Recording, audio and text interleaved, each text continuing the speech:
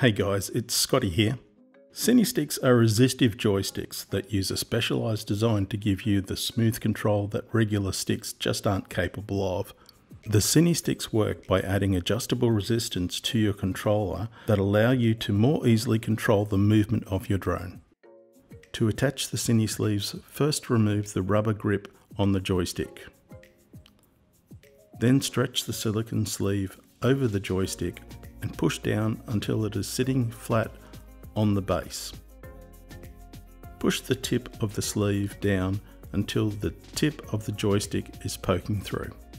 If your controller needs to calibrate your sticks, make sure you use the original joysticks and not the CineSticks so that your controller can calibrate properly.